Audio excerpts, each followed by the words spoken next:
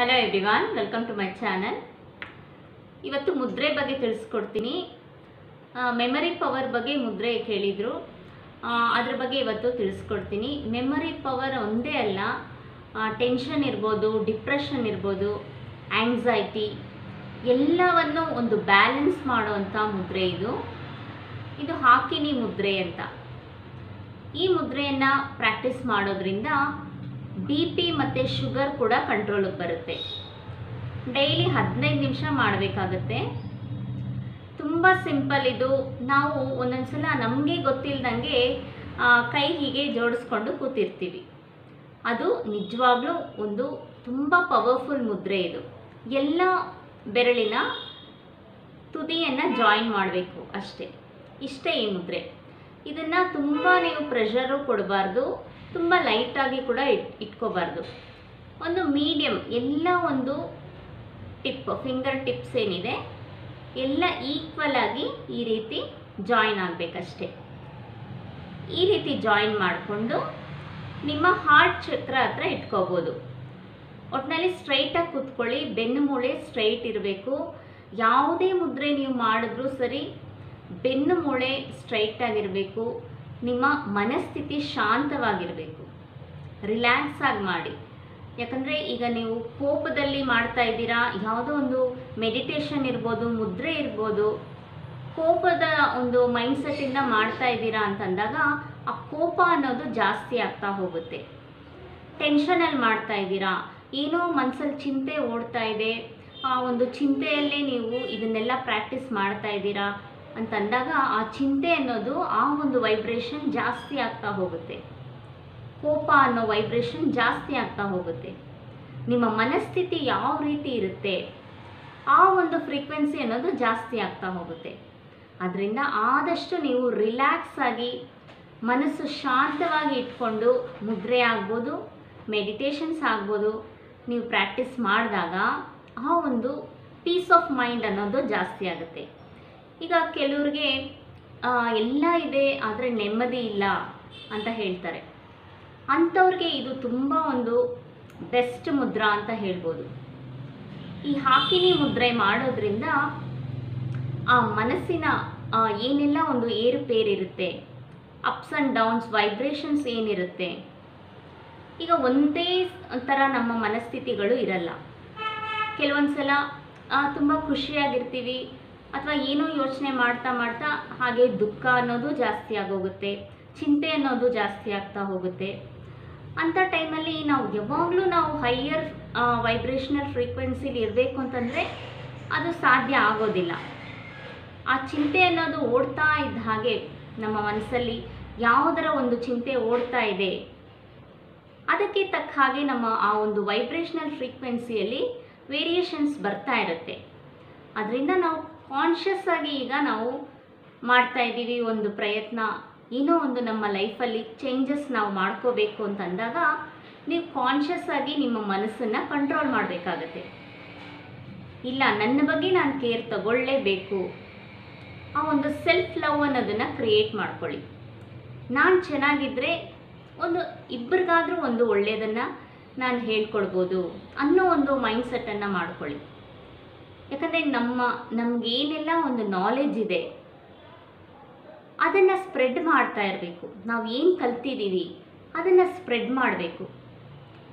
ಈಗ ನಾವು ಇದೆಲ್ಲ ಪ್ರಾಕ್ಟೀಸ್ ಮಾಡ್ತಾ ಇದ್ದೀವಿ ಅಂದಾಗ ನಮ್ಮಲ್ಲಿ ಒಂದು ಜಾಗೃತಿ ಅನ್ನೋದು ಮೂಡುತ್ತೆ. ಆ ಜಾಗೃತಿ ಏನು ಮಾಡುತ್ತೆ? ನಾವು ಅಲರ್ಟ್ ಆಗಿರೋದಕ್ಕೆ ನಮ್ಮನ್ನು ಎಚ್ಚರಿಸ್ತಾ ಇರುತ್ತೆ. ಯಾರೋ ಒಬ್ಬರು ನಮ್ಮನ್ನು ಗೈಡ್ ಮಾಡ್ತಾ ಇರೋ ಥರ ನಮ್ಮ ಜೊತೆ ಆ ಒಂದು ಗೈಡೆನ್ಸ್ ಅನ್ನೋದು ನಮಗೆ ಸಿಗ್ತಾ ಇರುತ್ತೆ. ಅದರಿಂದ ಈ ಮುದ್ರೆಗಳು ಪ್ರಾಕ್ಟೀಸ್ ಮಾಡುವಾಗ ಮೆಡಿಟೇಷನ್ಗಳು ಮಾಡುವಾಗ, ಚಕ್ರ ಮೆಡಿಟೇಷನ್ ಬಗ್ಗೆ ತಿಳಿಸ್ಕೊಟ್ಟಿದ್ದೆ. ಆ ಒಂದು ಮೆಡಿಟೇಷನ್ನು ಅಷ್ಟೇ, ಮನಸ್ಸು ಪ್ರಶಾಂತವಾಗಿ ಇಟ್ಕೊಳ್ಳಿ ಯಾವ ಚಕ್ರಗೆ ಯಾವ ಒಂದು ಕಲರನ್ನು ತುಂಬ್ತಾ ಇದ್ದೀರಾ? ಯಾವ ಕಲರನ್ನು ಅಟ್ರ್ಯಾಕ್ಟ್ ಮಾಡ್ತಾ ಇದ್ದೀರಾ? ಅದ್ರ ಕಡೆ ಮಾತ್ರ ಕಾನ್ಸಂಟ್ರೇಷನನ್ನು ಮಾಡಿ. ಆ ಒಂದು ಕಲರ್ ನಿಮ್ಮ ಸುತ್ತಲೂ ತುಂಬಿದೆ. ಅನ್ನೋ ರೀತಿ ಫೀಲ್ ಮಾಡಿ. ಫೀಲ್ ಮಾಡಿಕೊಂಡು ನೀವು ಪ್ರಾಕ್ಟೀಸ್ ಮಾಡಿದಾಗ ಖಂಡಿತ ನಿಮ್ಮ ಲೈಫಲ್ಲಿ ಒಂದು ಚೇಂಜಸ್ ಅನ್ನೋದು ಬರುತ್ತೆ. ಈ ಒಂದು ಹಾಕಿನಿ ಮುದ್ರ ಎಲ್ಲ ಸ್ಟೂಡೆಂಟ್ಸು ಮಾಡಲೇಬೇಕಾದಂಥ ಮುದ್ರೆ ಇದು.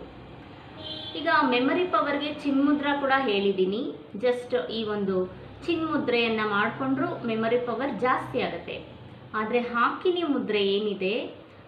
ಆ ಒಂದು ಮುದ್ರ ನಮ್ಮ ನಮ್ಮ ಪೀನಿಯಲ್ ಗ್ಲ್ಯಾಂಡ್ ಪಿಟ್ಯುಟರಿ ಗ್ಲ್ಯಾಂಡ್ ಎಲ್ಲವನ್ನು ಸ್ಟಿಮ್ಯುಲೇಟ್ ಮಾಡುತ್ತೆ. ಸೊ ನೀವು ಓದಿದ್ದು ನಿಮಗೆ ನೆನಪಿಗೆ ಬರ್ತಾ ಇಲ್ಲ.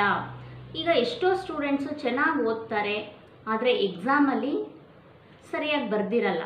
ಯಾಕಂದ್ರೆ ಆ ಮೆಮರಿ ಪವರ್ ಅನ್ನೋದು ತುಂಬ ಕಡಿಮೆ ಇರುತ್ತೆ ಅವ್ರಿಗೆ. ಅಂಥ ಮಕ್ಕಳಿಗೆ ಈ ಹಾಕಿನಿ ಮುದ್ರ ತುಂಬ ಒಂದು ಹೆಲ್ಪ್ಫುಲ್ ಆಗುತ್ತೆ.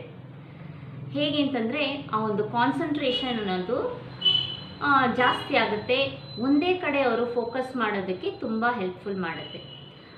ಈ ಎಲ್ಲ ಫಿಂಗರನ್ನು ನಾವು ಜೋಡಿಸಿದಾಗ, ಎಲ್ಲ ಬೆರಳಿನ ತುದಿಯನ್ನು ನಾವು ಜೋಡಿಸಿದಾಗ, ಆ ಒಂದು ತತ್ವಗಳು ಏನಿರುತ್ತೆ, ಅದೆಲ್ಲ ಬ್ಯಾಲೆನ್ಸ್ ಆಗ್ತಾ ಹೋದಾಗ, ಆ ಮೈಂಡ್ ಪವರ್ ಅನ್ನೋದು ವಿಲ್ ಪವರ್ ಅನ್ನೋದು ಜಾಸ್ತಿ ಆಗುತ್ತೆ. ಮತ್ತು ಯಾವುದ್ರ ಕಡೆ ನೀವು ಫೋಕಸ್ ಮಾಡ್ತಾ ಇದ್ದೀರಾ, ಅಲ್ಲೇ ನೀವು ಕಾನ್ಸಂಟ್ರೇಷನ್ ಮಾಡೋದಕ್ಕೆ ಇದು ಹೆಲ್ಪ್ ಮಾಡುತ್ತೆ. ಮತ್ತು ಬಿ ಪಿ ಶುಗರ್ ಯಾವುದೇ ಇದ್ದರೂ ಸರಿ ಡಿಪ್ರೆಷನ್ ಇರ್ಬೋದು ಆ್ಯಂಗ್ಸೈಟಿ ಇರ್ಬೋದು, ಎಲ್ಲವನ್ನ ಆ ಒಂದು ಫ್ರೀಕ್ವೆನ್ಸಿಯನ್ನು ಕಡಿಮೆ ಮಾಡಿಬಿಡುತ್ತೆ. ಬಿ ಪಿಗೂ ಮುದ್ರೆ ಕೇಳಿದರು ಒಬ್ಬರು ಈ ಮುದ್ರೆಯನ್ನೇ ಬಿ ಪಿ ಮತ್ತು ಶುಗರನ್ನು ಕಂಟ್ರೋಲ್ ಮಾಡೋದಕ್ಕೂ ಯೂಸ್ ಮಾಡ್ಕೋಬೋದು. ತುಂಬ ಆ ಒಂದು ಆ್ಯಂಗ್ಸೈಟಿ ಲೆವೆಲ್ ಅನ್ನೋದು ಬ್ಯಾಲೆನ್ಸ್ಡ್ ಆಗೋಗುತ್ತೆ. ಮನಸ್ಸು ಪ್ರಶಾಂತವಾಗೋಗುತ್ತೆ. ಹೇಗೆ ಅಂದರೆ ಈಗ ಅನಾಹತ ಚಕ್ರ, ಈಗ ಹಾರ್ಟ್ ಚಕ್ರ. ಈ ಮುದ್ರೆಯನ್ನು ಮಾಡಬೇಕಾದ್ರೆ ಬೆನ್ಮೂಳೆ ಸ್ಟ್ರೈಟ್ ಇರಬೇಕು ಅಂತ ಹೇಳಿದೆ, ಮತ್ತು ಹಾರ್ಟ್ ಚಕ್ರಗೆ ಲೈಟಾಗಿ ಟಚ್ ಆದಂಗೆ ಇಟ್ಕೋಬೋದು. ಈ ಹೆಬ್ಬೆರಳು ಏನಿದೆ, ಹಾರ್ಟ್ ಚಕ್ರಗೆ ಲೈಟಾಗಿ ಟಚ್ ಮಾಡ್ಕೊಳ್ಳಿ. ಮತ್ತು ಬೆರಳು ಈ ರೀತಿ ಇರಲಿ. ಜಸ್ಟ್ ನೀವು ಆರಾಮಾಗಿ ಕೂತ್ಕೊಂಡು ಕೂಡ ಮಾಡ್ಬೋದು, ಅದೇ ಹಾರ್ಟ್ ಚಕ್ರಗೆ ಲೈಟಾಗಿ ನೀವು ಟಚ್ ಮಾಡಿಕೊಂಡಾಗ ಅದರ ಒಂದು ರಿಸಲ್ಟ್ ಅನ್ನೋದು ಫಾಸ್ಟಾಗಿ ಸಿಗುತ್ತೆ ನಿಮಗೆ. ಮತ್ತು ಯಾವುದೇ ಒಂದು ಬಿ ಪಿ ಶುಗರ್ ಇರ್ಬೋದು, ಕಾಯಿಲೆ ಅಲ್ಲ ಅದು ಅದು ಜಸ್ಟ್ ಒಂದು ಹಾರ್ಮೋನಲ್ ಇಂಬ್ಯಾಲೆನ್ಸ್ ಏನಾಗ್ತಾ ಇದೆ ನಮ್ಮ ದೇಹದಲ್ಲಿ, ಅದರಿಂದ ಬರ್ತಾ ಇರೋಂಥ ಜಸ್ಟ್ ಒಂದು ಇಂಬ್ಯಾಲೆನ್ಸ್ ಅದಷ್ಟೇ. ನೀವು ಈ ಮುದ್ರೆಗಳ ಮೂಲಕ ಎಲ್ಲವನ್ನ ನೀವು ಬ್ಯಾಲೆನ್ಸ್ ಮಾಡ್ಕೋಬೋದು. ನಿಮ್ಮ ಆರೋಗ್ಯ ನಿಮ್ಮ ಕೈಯಲ್ಲೇ ಇರುತ್ತೆ. ಮತ್ತು ನಿಮ್ಮ ಮೈಂಡ್ ಪವರ್ ಕೂಡ ಜಾಸ್ತಿ ಆಗುತ್ತೆ ಈ ಒಂದು ಮುದ್ರೆ ಮಾಡೋದ್ರಿಂದ. ಅದರಿಂದ ಸಂಕಲ್ಪಗಳು ಏನು ಮಾಡ್ಕೊಂಡಿರ್ತೀರಾ? ಅಫರ್ಮೇಷನ್ಸ್ ಏನು ಮಾಡ್ತಾ ಇರ್ತೀರಾ? ಆ ಟೈಮಲ್ಲಿ ಕೂಡ ಹಾಕಿನಿ ಮುದ್ರೆಯನ್ನು ಮಾಡ್ಕೋಬೋದು. ಜಸ್ಟ್ ನೀವು ರಿಲ್ಯಾಕ್ಸ್ ಕೂತಿರುವಾಗಲೂ ಹಾಕಿನಿ ಮುದ್ರೆ ಮಾಡ್ಕೋಬೋದು. ಇದಕ್ಕಿಂತ ಪರ್ಟಿಕ್ಯುಲರ್ ಟೈಮಿಂಗ್ಸ್ ಏನಿಲ್ಲ. ಯಾವಾಗ ಫ್ರೀ ಇರ್ತೀರೋ, ಯಾವಾಗ ರಿಲ್ಯಾಕ್ಸ್ಡ್ ಆಗ ಮಾಡ್ಕೋಬೋದು. ಸ್ಟೂಡೆಂಟ್ಸ್ ಕೈಯಲ್ಲಿ ಖಂಡಿತ ಈ ಒಂದು ಮುದ್ರೆಯನ್ನು ಮಾಡಿಸಿ, ಯಾಕಂದರೆ ಅವರು ಓದಿದ್ದೆಲ್ಲ ಚೆನ್ನಾಗಿ ನೆನಪಾಗುತ್ತೆ ಮತ್ತು ಅವರು ಎಕ್ಸಾಮ್ಸಲ್ಲಿ ಕಾನ್ಸಂಟ್ರೇಟ್ ಮಾಡೋದಕ್ಕೆ ತುಂಬ ಹೆಲ್ಪ್ಫುಲ್ ಆಗುತ್ತೆ. ಮತ್ತು ಬಿ ಪಿ ಶುಗರ್ಗೂ ಇದು ಕಂಟ್ರೋಲನ್ನು ಮಾಡೋ ಮುದ್ರೆ ಇದು. ಸ್ಟೂಡೆಂಟ್ಸು ಮಾಡಲೇಬೇಕಾದಂಥ ಒಂದು ಮುದ್ರೆ ಇದು. ಹಾಕಿನಿ ಮುದ್ರೆ. ಬೆಳಗ್ಗೆ ಹೊತ್ತು ಮಾಡಿದಷ್ಟು ತುಂಬ ಬೆನಿಫಿಟ್ಸ್ ಇರುತ್ತೆ. ಬೆಳಗ್ಗೆ ಆಗ್ತಾ ಇಲ್ಲ ಟೈಮ್ ಇರಲ್ಲ ಅಂತಂದರೆ ನೀವು ಯಾವಾಗ ಫ್ರೀ ಇರ್ತೀರಾ ಆವಾಗ ಮಾಡ್ಕೊಳ್ಳಿ. ಆದಷ್ಟು ಎಲ್ರಿಗೂ ಶೇರ್ ಮಾಡಿ ಈ ವಿಡಿಯೋನ. ಎಲ್ರಿಗೂ ಒಳ್ಳೆಯದಾಗಲಿ ಚಾನಲ್ಗೆ ಸಬ್ಸ್ಕ್ರೈಬ್ ಮಾಡ್ಕೊಳ್ಳಿ, ಲೈಕ್ ಮಾಡಿ, ಶೇರ್ ಮಾಡಿ, ಕಮೆಂಟ್ ಮಾಡಿ. Thank you.